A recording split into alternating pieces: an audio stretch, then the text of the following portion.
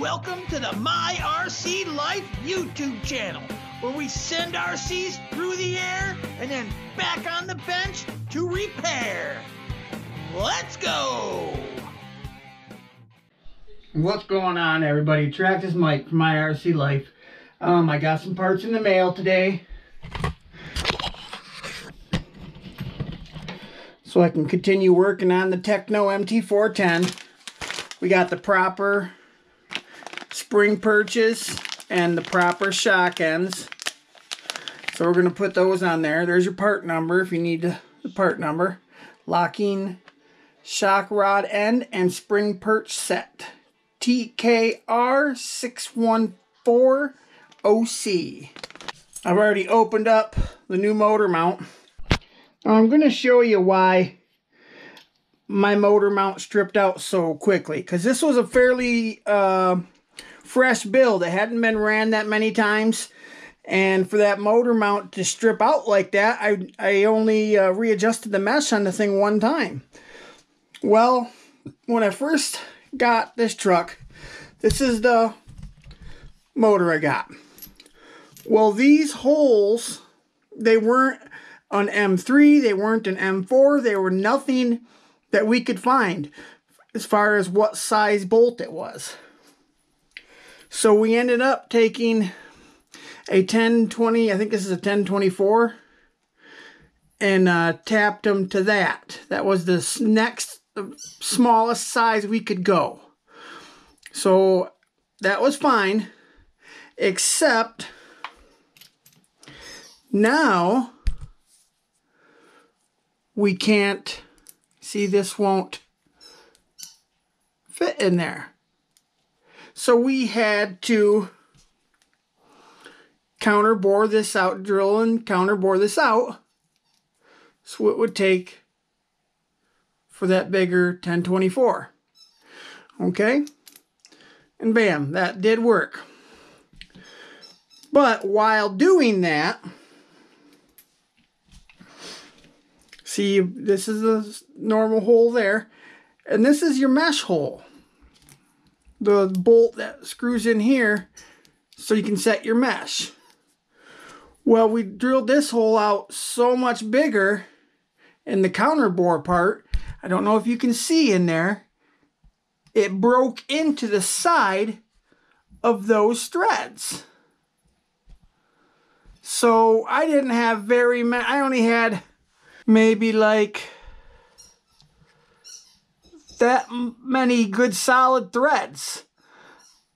And uh, instead of being able to, you know, have a good set of, you know, like this deep of threads. Yeah, so anyways, what I'm going to do this time is I still have to use the 1024 bolt because we got a 1024 hole in this motor unless we used a different motor which we're not gonna use a different motor. I really like this TP Power long can. It's uh, been a really good uh, option. I like it a lot. But what I am going to do is just modify the bolt itself and I'll show you how I'm gonna do that. I'm gonna go ahead and measure this here all right, we got about 215, 215 thousandths. All right. We're going to trim this head down. All right, it's about 260, 62 thousandths. So we need to take about just under 50 thousandths off from this head. So what I'm going to do is I'm going to take this and lightly clamp it down in my drill chuck here. Something like that. Run it, make sure it's spinning true. Looks pretty good to me. Then I'm going to come over here, hold the trigger on the drill, and spin this at the same time.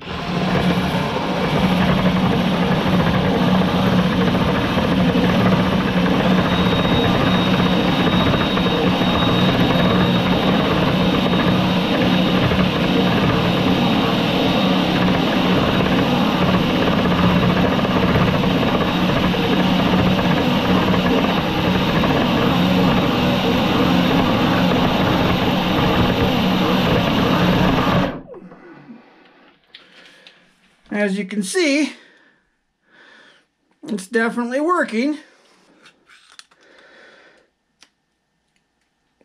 Okay, we got two 25 now. Needs another 10 taken off in it at least.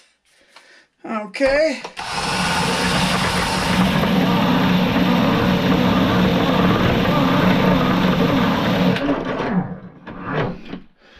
All right. Oh, needs a little bit more than that.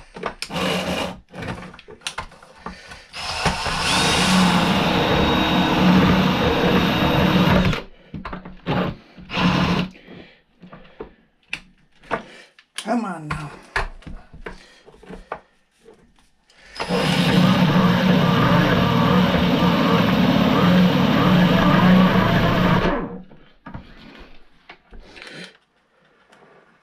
There we go. Does it fit in there? Yes, it does. Look at that. Beautiful thing. Perfect. Okay, so this will fit through this way, but we do have to modify the motor mount just a little bit because we got to make enough clearance for these threads to go through. But that's okay because it ain't the thread hole that broke through our tapped hole running this way. It's just that counterbore hole for clearance of the head of the Allen screw. That's all. So what I'm going to do is just clamp this onto there. Okay. I got a drill bit picked out. Um, that's uh, just over the diameter of that for clearance. Okay. We're to let this drill just find its own center there.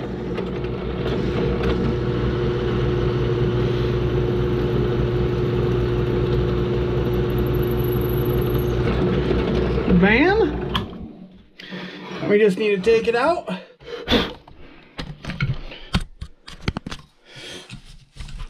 Flip it over to the other side.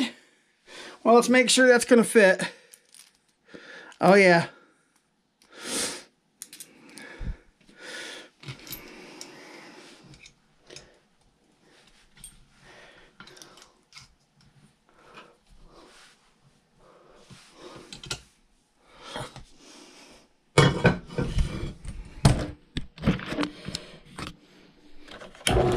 Let it find its center again.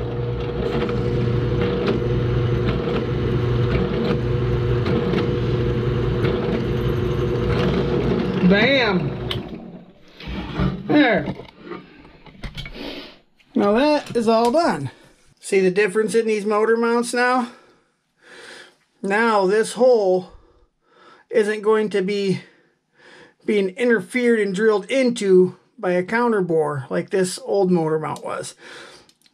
So it's going to be a lot better. Now the head of this Allen bolt is going to stick out a little bit, but it don't matter. It, it can. Um, it's no it's no big deal. I could grind it off if I wanted to, but I don't really want to do that because then my Allen wrench is only going to go in so far. And uh, the Allen wrench is really thin. The Allen head is thin walled anyways because of all the material I had to take off. So I don't want to give it even more of a chance to like strip out. So I'm not gonna worry about shaving that head down. I'm just gonna let it stick out like that and not worry about it. Like every good machinist knows, never leave any burrs. Take your countersink, get rid of that little burr on the back side, and it makes it so it looks a lot nicer too. Perfect. All right, we're gonna Get our Loctite here.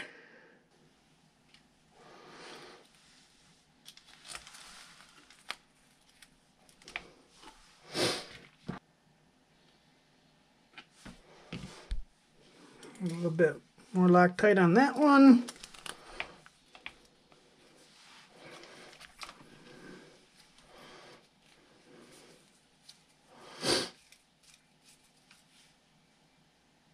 Okay, tighten that one down. Tighten that one down too. Okay. All right. I actually used the Tekno Loctite on this, the blue, and it worked really good. So I'm going to use the Tekno Blue Loctite back on this stuff again. There we go. Okay, start that down on there a bit. I don't know exactly where. Right around there is where I'll kind of snug it to a bit, I'm thinking. Let's see, that gonna be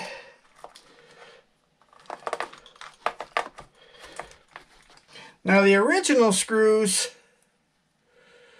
were only so long, but I went and I found in my X-Maxx bolt kit, I found some that were quite a bit longer, a decent little bit long, longer, and uh, they fit on there without bottoming out in the hole really good.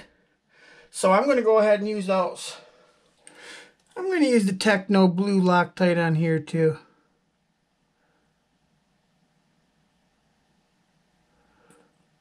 This looks of quality. The regular blue Loctite by the Loctite brand, it's like milky, creamy blue. This is like nice blue, you know.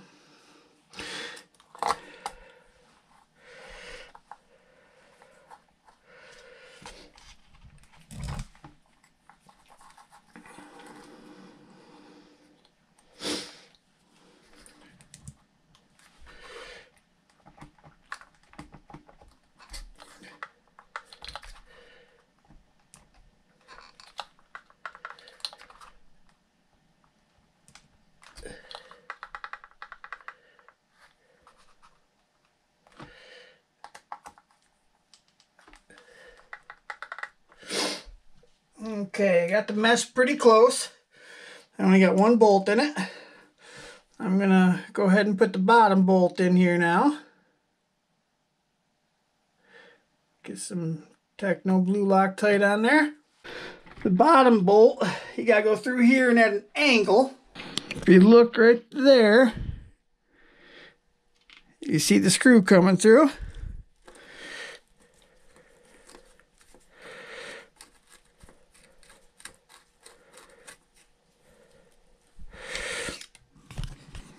Okay, now I'm going to check my mesh. I don't know if you guys can see see that little bit of play there.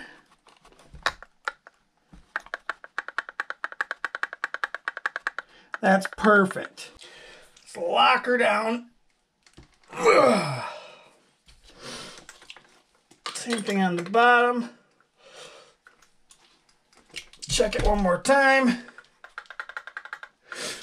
Perfect. Now I'm thinking about putting a big pad of hot glue underneath here. So while that hot glue gun's warming up, I'm going to go ahead and fix my shocks. I'm going to go ahead and put the locking shock and ends on there.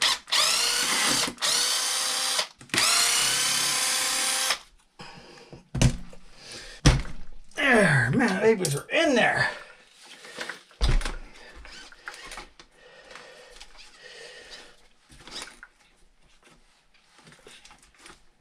Okay.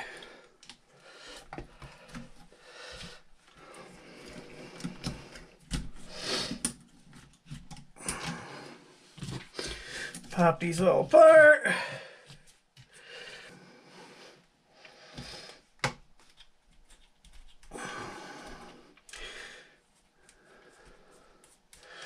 Undo these shock ends here.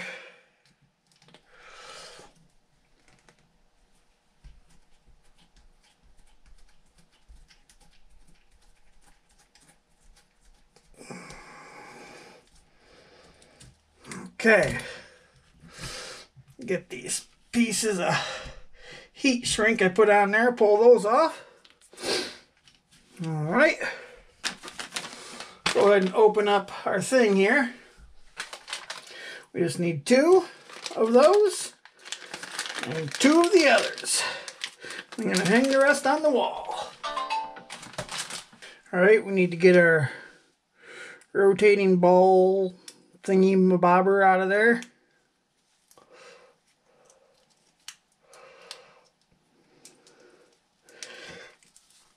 Come on, it's almost out.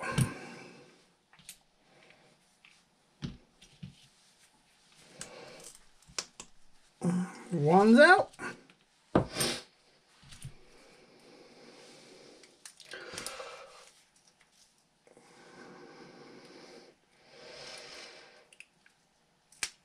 Oh, there goes the other one. It went flying.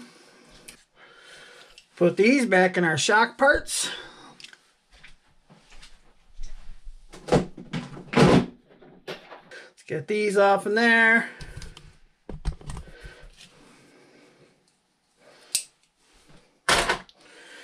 Now these have to screw on to here. That's going to be the correct thread now. Don't got to have no stupid shrink wrap all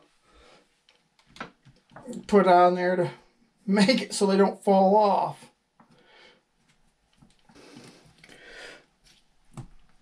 Okay, it's on.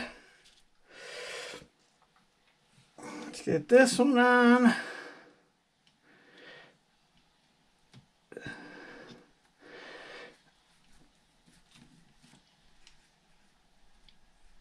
Okay. Put that on. Then we put our springs on.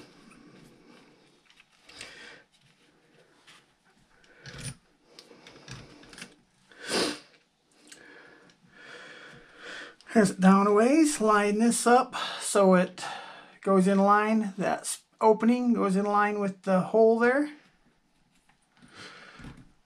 And push it up and it locks in there. Perfect. Same thing with this other side.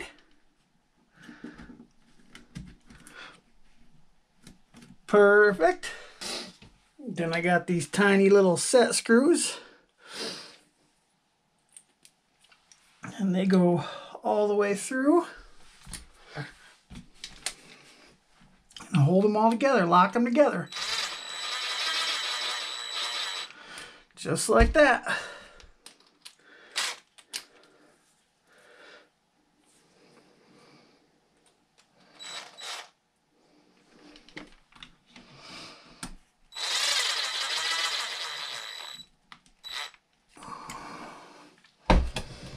Okay. Now we just need to pop our balls back in here.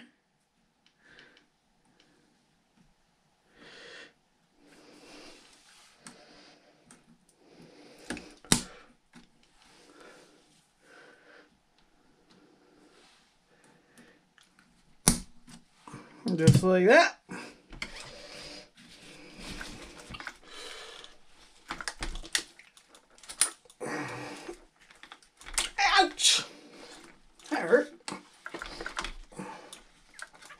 We gotta put our bolts back in down here. Okay, let's see here. Okay, I got that lined up. Right there.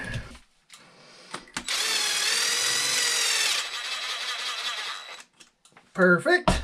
Next one. Same spot.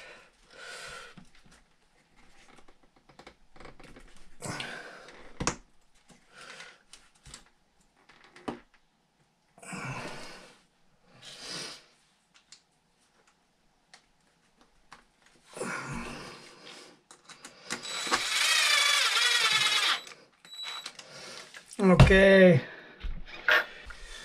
Now, the hot glue gun should be warmed up here. I'll hold this outside here so I don't get that servo wire in the hot glue path.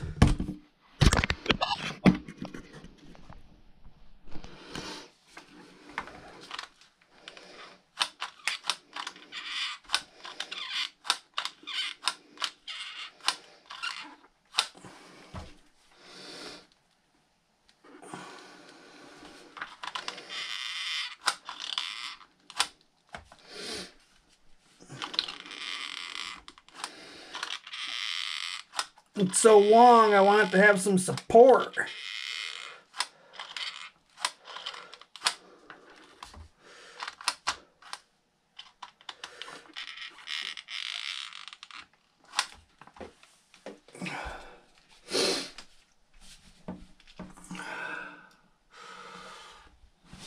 Okay, let that tack up for a minute.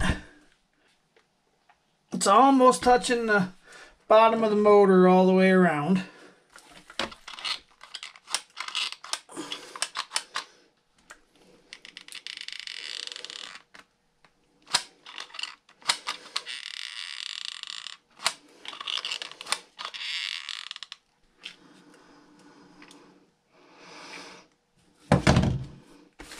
I know it looks kind of crappy, but it's gonna help to maybe not bend that motor mounting crap. I'm hoping.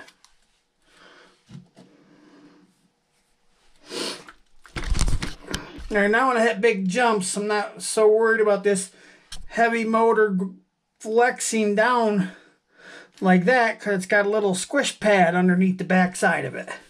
See, it's only being held in place by this, and it's so long, you know.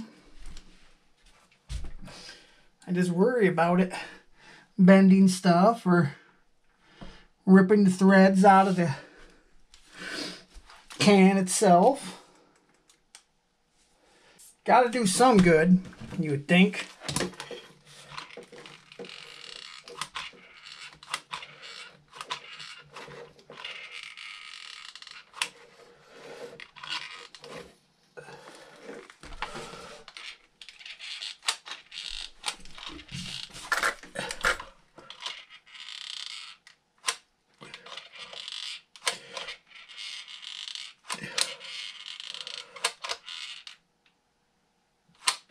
Okay.